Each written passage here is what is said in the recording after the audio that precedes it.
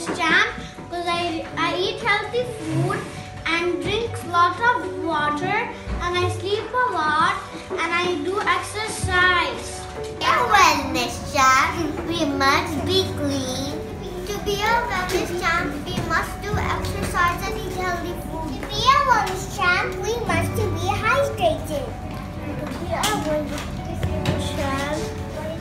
to be strong and healthy.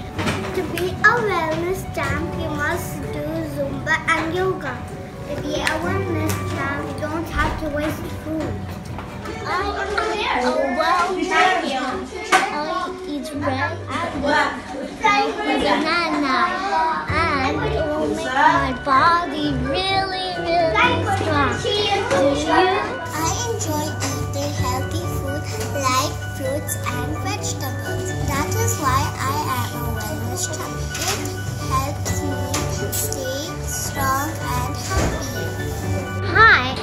I'm Alicia. I'm the wellness champ of this week.